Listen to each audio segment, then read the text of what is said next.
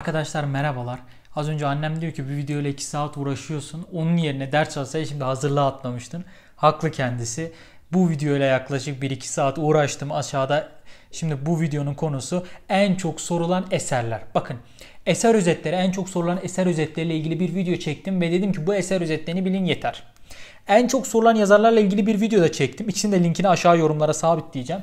Onda dedim ki bunları bilirseniz 22-23 tane yaparsanız. Ama bakın bu eserleri bilmek size hiç yetmeyecektir. Bakın yetmeyecektir. Sadece bunları bilmeniz gerekiyor. Bunlar çok çok soruluyor. O yüzden böyle bir video hazırlamaya karar verdim. Çünkü çok böyle bir video bulamadım internette. En çok sorulan eserlerle ilgili bir video bu. Aşağı arkadaşlar yorumlara sabitleyeceğim. Ee, en çok sorulan eserlerle eserleri yorumlarda bulabilirsiniz. Bu arada arkadaşlar videoya destek verirseniz sınıf gruplarında paylaşmak, Telegram gruplarında bulunduğunuz gruplarda paylaşmak veya Instagram'da paylaşmak destektir. Yorum yapmak, beğenmek de ve abone olmak da tabii ki de destektir. Beni dinlediğiniz için çok teşekkür ediyorum. Umarım faydalı bir video olmuştur. Görüşmek üzere.